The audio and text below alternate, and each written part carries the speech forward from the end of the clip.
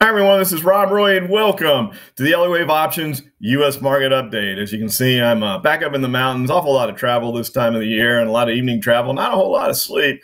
Uh, but in this broadcast, the stocks that you see on your screen now will be the ones featured in this video. And as a quick reminder, you can click on your favorite stock and using the chapters feature uh, in the video, go straight to it. All right, so let's get to talking about what happened in the market. Uh, you take a look at the chart of the SPY uh, when we had a little bit of a doji today. Uh, we had some economic news this week, starting with uh, yesterday. Uh, we had the GDP revision come out, uh, and it was a surprising revision back to the downside. It was expected at 5.2 and it broke that five barrier, so at 4.9. and that seemed to reverse what was a bit of an ugly day on Wednesday. And then in today's market, uh, we had the Fed's favorite inflation gauge, the PCE deflator, that came in pretty much in line, but uh, nothing to uh, scare the market into worrying about any more uh, Fed rate hikes. And that allowed us to go back to the upside. So, going back to the chart, uh, you can see that this move that occurred on Wednesday uh, close to the low of the day. And then we had the recovery on Thursday from the GDP revision, and then today's PCE deflator gave us a little bit of a move to the upside. If we take a look at the 10 day moving average, you can see really all that occurred on that move down Wednesday was just correcting a slightly overbought condition back down to the 10 day moving average. Uh, so sitting there, we touched it on the low yesterday and then move to the upside today. We are entering the period known as the Santa Claus rally. That's the time of the year between the Christmas holiday and New Year's. Normally, because of very low volume, none of the investment advisor community is uh, working. Um, we kind of drift higher, never short a dull market, as they say. The only thing I would concern about a little bit is what does the doji mean uh, for Monday? But at this point, it seems like uh, we're likely to uh, drift back to the upside uh, next week. Uh, slight little uh, sidebar here. Uh, on a low volume market, if there is any kind of negative news that comes out, then you can get some exaggerated moves uh, with volatility. But with you know already the GDP revision out of the way and the PCE's Fed gauge out of the way, not sure what kind of negative news we could have, but uh, it's the only thing to uh, keep in the back of your mind as uh, we look for uh, that seasonal drift back to the upside uh, in next week's trade. Uh, taking a look at interest rates, interest rates have certainly been helpful to the move to the upside in the market as they continue to come down. A little bit of a bounce to the upside on rates, but nothing too exciting uh, today, and we're uh, in the low end of the range. You can see the wave four is at a 69% correction. We haven't quite disqualified this five wave pattern, but it's really hard for me to think of anything that could uh, cause the Fed to want to uh, raise rates to the point where we have this wave five. So I would kind of expect this Elliott wave pattern to become disqualified. Uh, it'd be nice to see rates uh, continue to stay down uh, as the market, as you know already, is looking for uh, rate cuts from the Fed next year as their next move. Uh, taking a look at the dollar, the dollar's been pretty interesting. We had another little tick down in the dollar today. We had a lengthy discussion about the dollar and this week's Tradefinder. And by the way, if you haven't registered for Tradefinder, you can do so by going to the link on your screen. We do it every Tuesday night at 9 p.m. Eastern Time. We talk the markets, we look for trade ideas, and we have a live Q&A at the end. We have a great community. Love to have you join in uh, on next week's uh, uh, Tradefinder. So taking a look back at the dollar, um, just raised a few points of what does this big move to the downside mean? Obviously, if rates are going to be going lower, that's not necessarily supportive of a higher dollar, uh, but we don't want to see the dollar move down too far uh, to where uh, we start getting uh, uh, other economies worried about the debt load that the U.S. carries. Uh, we get headlines about that all the time. We kind of want this dollar to stay in this sweet spot. Talked about that last week. Somewhere in this 100 to 107 range, I think, is the the Goldilocks scenario for the dollar uh, so that it still shows strength in case we do have a bit of a, uh, global recession uh, first quarter of next year. Um, normally, when that occurs, money moves into the dollar, uh, and we wouldn't want to see the dollar if it does bounce off this low somewhere around 100, 101 uh, to break that 107 level. Uh, we are right at the 78% wave four correction here. That's the last bastion of um, Fibonacci support, the 78.6% level. So again, I would kind of expect to see this Elliott wave pattern become disqualified as well. We'll see how that plays out. Uh, but as long as the dollar stays in this range, I think that's really constructive for the market to continue to move higher. Uh, looking at the VIX, interestingly, on the VIX, uh, we had this uh, uh, little bounce back to the upside that occurred on Wednesday. And it almost seems like, well, that was just enough of a bounce to give us room to drift lower on the VIX with low volatility next week and uh, perhaps a continued drift to the upside in the market. 13 uh, remains the key level. My personal expectation, for whatever that's worth, is that we're going to see a return of volatility in January. You all heard about uh, credit card debts being at record levels, et cetera. Clearly, the consumer has been uh, spending uh, this holiday season, but we did have a couple warnings uh, about the consumer uh, next quarter, and I'll get to those charts here uh, in a few minutes. But hovering around this 13 level, we haven't really wanted to break below 12. Uh, we could have gone down towards 10 or 9, but the market hasn't done that, or at least the VIX hasn't done that. So staying a little higher does give us room to drift lower next week. And then, as I said, I expect um, the return of uh, volatility uh, in January. Now, taking a look at a few of our uh, other markets, uh, if we take a look at the Qs, you can see that uh, very similar chart to we have on the SPY. Both of them relabeled as we covered last week to wave threes back to the upside. Looks like a really constructive chart to me on the Qs. So uh, I do think um, we would continue to move higher unless we get some sort of a unusual move higher in rates. I think that sets up for the wave three to continue here on the Qs. The really interesting chart uh, of the markets, I think, is the IWM. Uh, you can see that one kind of broke to the upside today. So uh, I'm not sure what's going on with the IWM. It seems to have uh, found a, uh, a, um, some momentum of its own. Uh, we've broken above this 200 level with today's move. We tried to do it a few days ago, earlier in the week, and we got turned back on Wednesday uh, with that big downward move. But here we are back above 200 today. If you've watched any of my videos, you know I feel like we need a follow through, a confirmation day. So it is interesting that it broke above 200 today, uh, but we'll need that follow through on Monday. This could be an indication, if you're a believer that the small caps are risk on, risk off, uh, that perhaps the market really is looking for uh, the rate cuts to fuel uh, a rally next year. I still think that we got to get by the first quarter uh, with uh, some uh, concerns, uh, at least on my part, from a recession. I just can't ignore the fact that we've been inverted in the yield curve uh, for uh, almost a year and a half now. Um, just my 25 plus years, going on 28 years now of experience says you never ignore the bond market. It's not a smart thing to do. So uh, keep that in the back of our minds and uh, uh, again, see if uh, that volatility does return as I suspect it might uh, coming into the first quarter of next year. Kind of curious as to what your thoughts are. Leave a comment underneath this video. And as a reminder, um, next year, uh, we are going to give away one free of our level three subscriptions each and every month. All you have to do to uh, become qualified is leave a comment under the video, and then you go in a pool, and it's electronically picked uh, for a winner. And uh, uh that gives uh, directional trading, uh, triangles. So when we have consolidation, and we also have a time strategy, which is a great income strategy, you get a subscription to all three of those. it's worth thousands of dollars. So we're, we're going to do that each month uh, in the coming year. So make sure you leave a comment here. And so, you know, particularly, what do you think about this rally in small caps, or a comment of uh, whether you feel like there's going to be a recession in first the first quarter? A couple subjects there that you might want to uh, uh take a look at uh, for your uh, comment. All right, so if we take a look at Bitcoin, uh, Bitcoin kind of took a little look at that 40,000 level and then turned and ran back to the upside. We have a little bit of an ascending triangle here. We talked about that in the live show uh, over on the uh, uh, HUBB Financial channel here on YouTube. And if you haven't registered there, go over and register.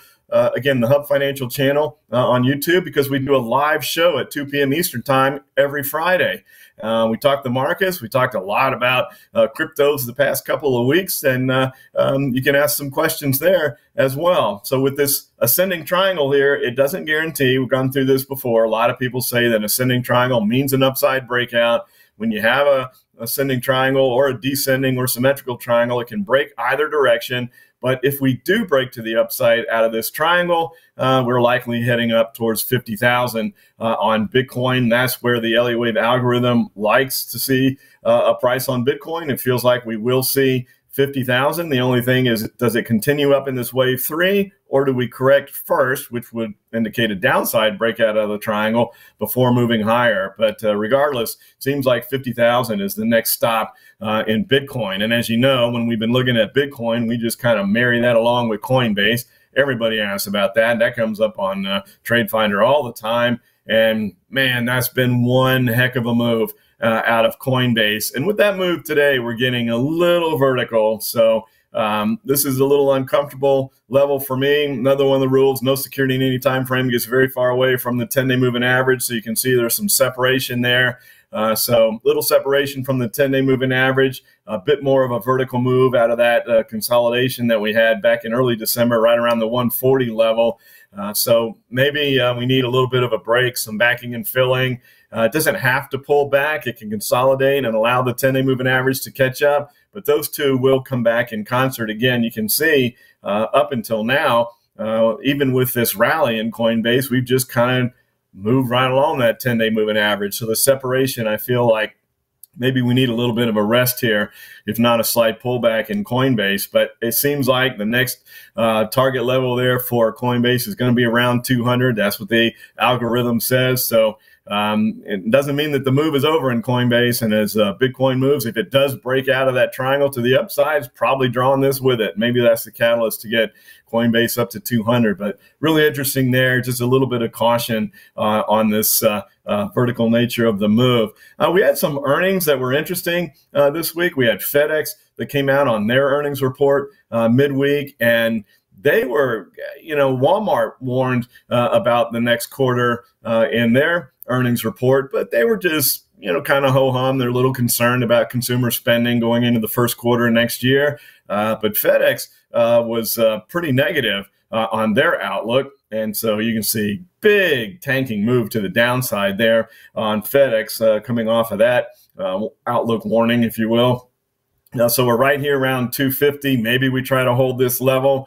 There's a little more support down around 240, so I wouldn't be surprised to see FedEx drift down there. That might be an interesting place to uh, maybe look at uh, going a little bit long here because obviously with that big massive move down, we're oversold at this point. But uh, 240 looks like um, a, an area where we might find support and, and you can look for a bid. And then that was followed uh, in last night's market with Nike, which was also pretty negative on their guidance uh, going forward as far as uh, the consumer and their desire for their products. Slightly different here there on the drop though, because we kind of came down into an area that could act as support right here around 110. Note that that happens to be right exactly where the wave four projection has been.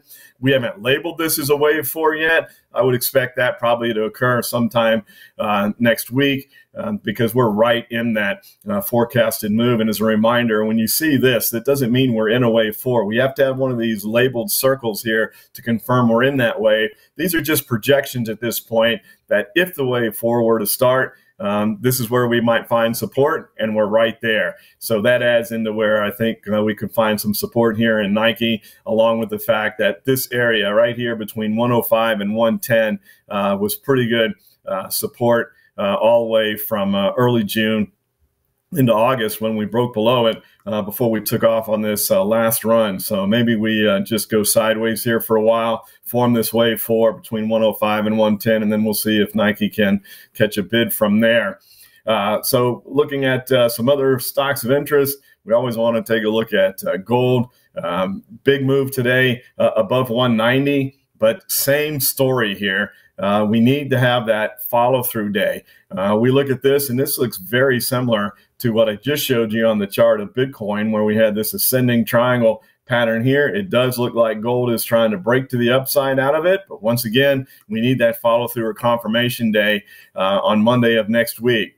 Just you know, furthering my point, we tried to break above it uh, back here on the uh, first of December. No follow through day, so we came back down, found a little support around 185, tried it again. So here we are once again above 190. Can we get the follow through this time and perhaps see a rally in the GLD up to the 200 level. Uh, I'd like to see that. Been waiting for uh, a good opportunity for a bid in the GLD for quite some time now, as you know, uh, if you've been watching. Uh, looking at oil.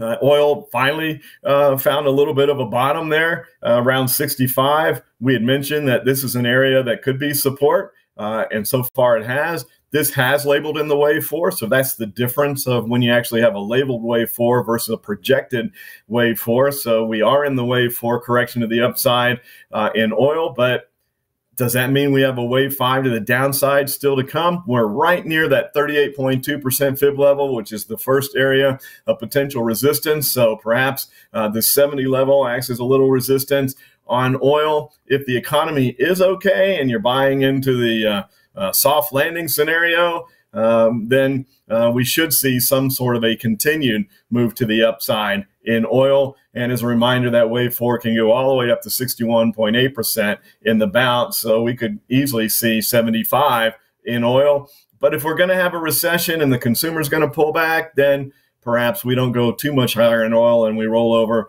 and head lower. That's going to be another good indicator, along with the IWM, I think, as to what the real true health of the consumer is uh, and therefore the economy uh, in the first quarter of next year. Uh, am I going to be right as far as a recession, or am I wrong on that? And we're just going to power back to the upside with the Fed looking for rate cuts or the market looking for the Fed to cut rates, I should say. So, our old friend Tesla wanted to show you this. We hadn't looked at this uh, uh, in a bit here, but a really nice ascending triangle. Look at this. Talk about uh, a potential breakout.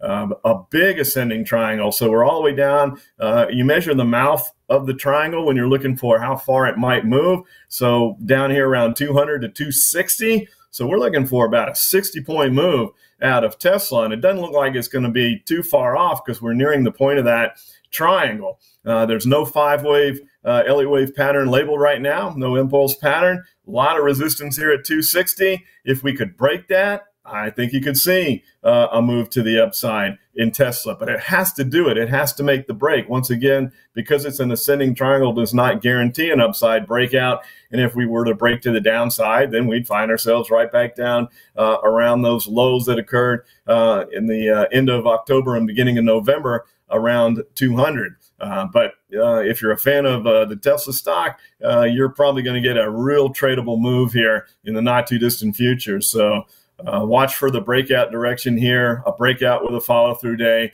uh, and perhaps you have a, a, good upside or downside trade coming out of Tesla uh, to start off the new year. Meta, oh my goodness, if you're looking for a place to go long, uh, we are at the 38.2% wave five uh, extension here. So uh, that's that first fib level that I was just talking about. So we could power past that and go up to 61.8 uh, uh, as well. Uh, and when you take a look at the DMI, which is my favorite indicator that helps to uh, confirm what I see from Elliott wave charts, uh, looks pretty good. We have the positive directional indicator way above the negative. The ADX is moving up. It's broken above that all important 20 level. So the DMI looks supportive for Meta to continue this extraordinarily uh, upward move that we've had coming all the way off that uh, flat period back uh, at the end of last year, beginning of this year. Uh, and what a year it's been for Meta.